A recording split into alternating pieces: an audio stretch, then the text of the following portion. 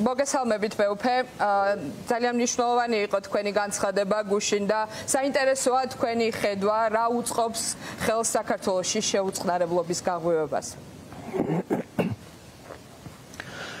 შეუწყნარებლობის გაღვივება საქართველოსში ბევრი რამ უწყობს ხელს.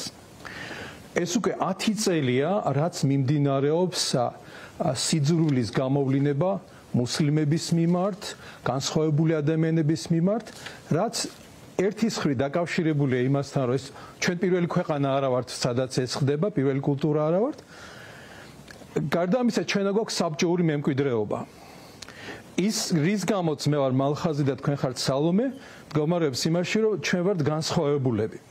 განსხვავებლების, განსხვავებულობის მიუღებლობა და სიძულვილი არის სწორედ ისლამოფობია, რომლის გამოვლინებასაც ჩვენ უკვე უყურებთ უკვე 2011 წლიდან ჩამოთვალში, რომელიც თქვენ თქვენ შემოგთავაზეთ, გამორჩენილი არის ციხისძირი.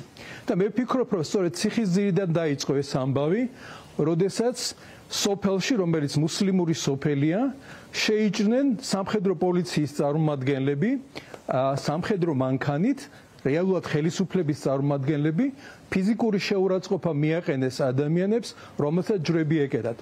უკვე 10 წელია მე ჯვარს არ ვატარებ საქართველოში მუსლიმებთან სოლიდარობის ნიშნად, რადგან თუ ეს არის ქვეყანა, სადაც ადამიანს ცემენ იმის გამო, ჯვარი არ უკეთია, მე არ შემიძლია ამ ქვეყანაში ჯვარი ვატარო. მე უფლებ ახას თქვენ ბოდიში მოუხადეთ მუსლიმ თემს გუშინ და ემოციური იყო ევანგელურ ბაპტისტური ეკლესიის გავრცელებული წერილი. საინტერესოა თქვენ როგორ მიმართავდით ქრისტიანული თემის წარმომადგენლებს და რას ეთყოდით მათ? მე იმავეს მოუწედებდი ქრისტიანული თემის წარმომადგენლებს განსაკუთრებით იმ რელიგიის და იმ ეკლესიის მესვეურებს, რომელთანაც აიგივებენ თავს მოძალადეები.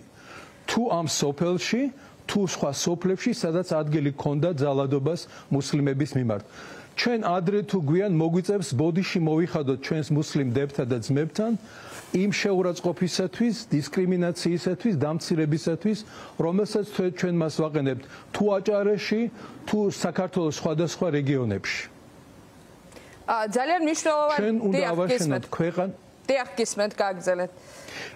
თუ თუ კი ჩვენი ორიენტაცია მართლაც ევროპულია, თუ ჩვენ მართლაც გვინდა ავაშენოთ საღი საზოგადოება, საღ საზოგადოებაში შეუძლებელია და მიუღებელია რომ ადამიანს ბავშვ, თინეიჯერს თავი გაუტეხონ იმის გამო რომ ლოცვა უნდა. ამის გამო ამაღელებელი იყო ჩემთვის ეს ამბავი.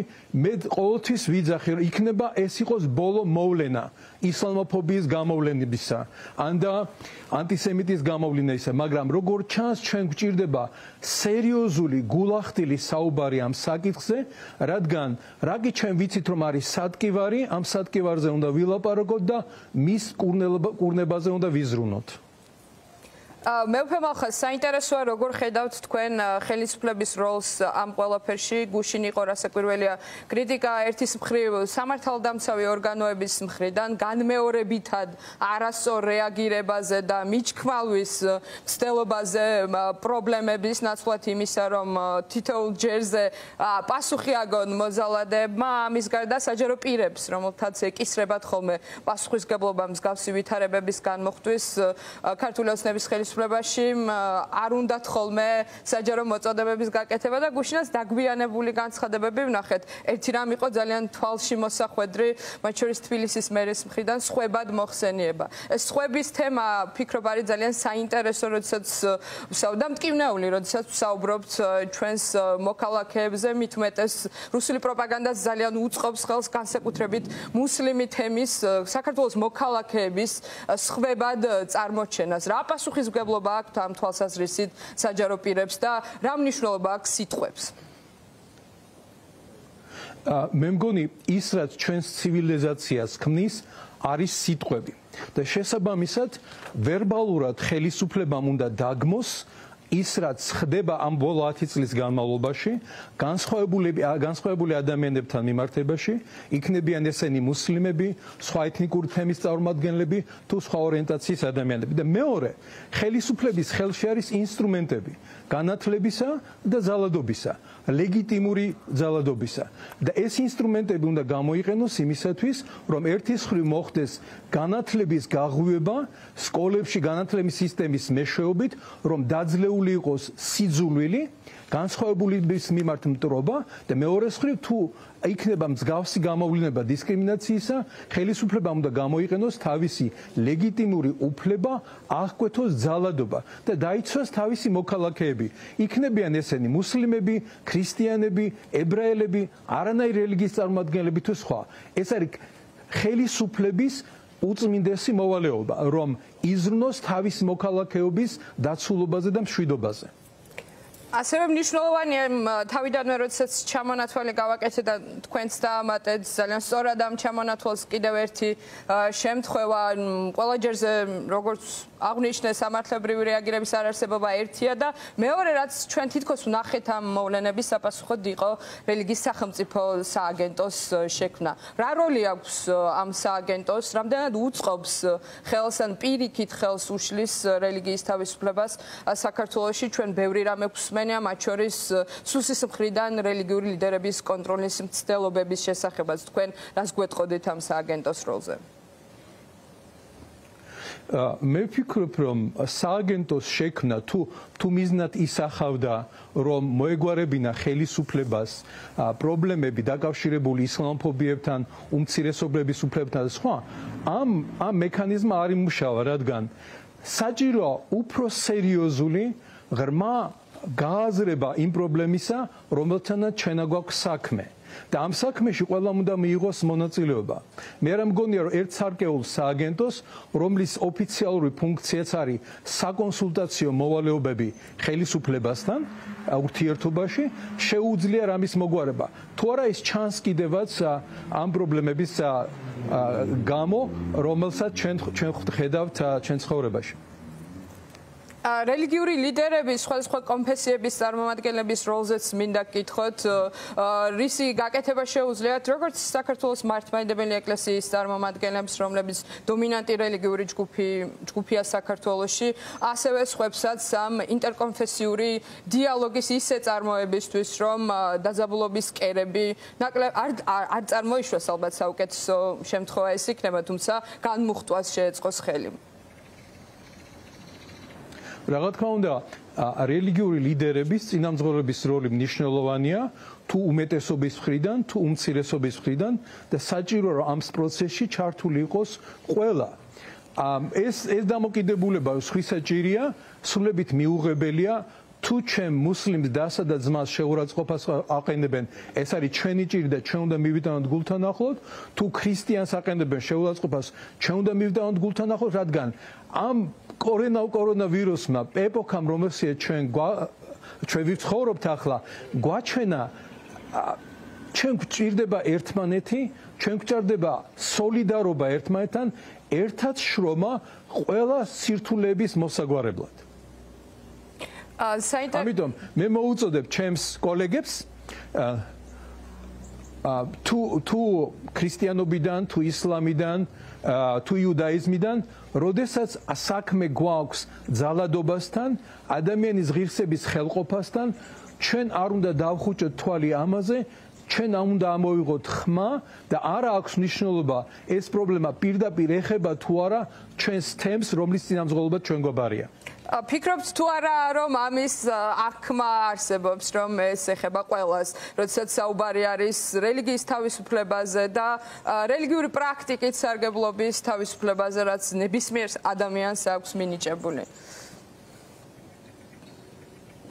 რა თქმა უნდა ეს ეს უღრესად მნიშვნელობა იმის გააზრება რომ რელიგიური თავისუფლება არის ადამიანის უფლებათა შორის ერთ-ერთი უწინარესი და მას ჯეროვანი დაფასება სჭირდება და ასევე მნიშვნელოვანია რომ კონდეს ყველა სოლიდარობის განცდა.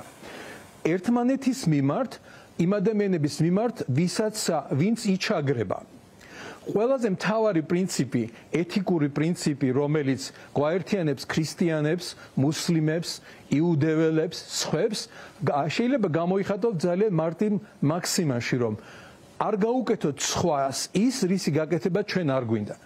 ვის უნდა რომ ჩვენ ქვაგვესრონო, როდესაც სალოცავად მივდივართ? ვის ვის უნდათ რომ უბეში ხელი ჩაგვიყონ და გვინახოს ჯვარს ვატარებ თუ არ არ ვატარებ ადამიანის წმენა არის სათუთი მოვლენა, ეს არის ადამიანის უფლება სწამდეს ან არ სწამდეს და რელიგიურ წინამძღოლებს ასეთივე მოვალეობა გვაქვს, რომ დავიცვათ იმ ადამიანების უფლებები, რომლებსაც შეიძლება შეურაცხყოფას აყენებდნენ დისკრიმინაციის ხერხლიყო იმის გამო, რომ მათ არაფერი არ წამ. ჩვენი მოვალეობა არის ვიდგეთ ადამიანობის მხარეზე. და ბოლოს საინტერესოა რას ეთყოდით თქვენ ხელისუფლების წარმომადგენლებს? მათაც რომ მიმართოთ თქვენი აზრით რა ნაბიჯები უნდა გადაიდგას? არა მხოლოდ მუსლიმ თემთან მიმართებით სხვა სხვა უმცირესობების წარმომადგენლებთან მიმართებით.